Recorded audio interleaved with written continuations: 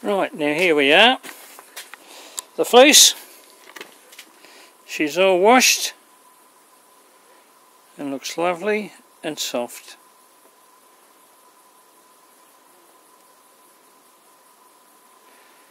That's just absolutely gorgeous and smells fantastic.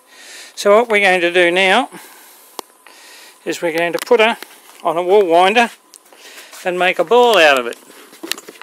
So rule of thumb says when you try to do this it's never that simple. So let's pray and hope that the preparation is going to do the right thing. And as you've seen there, that's what happens.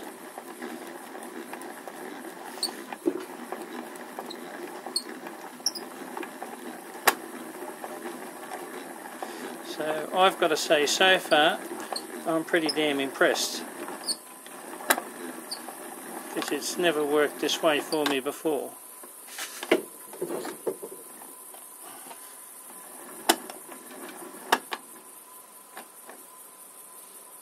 Me and my big mouse.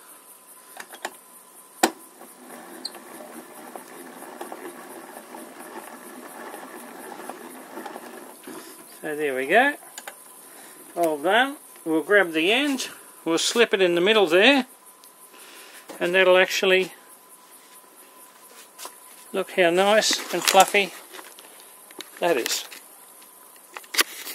So all I can say is that's a job well done. You've seen it from go to whoa. Thank you for your time.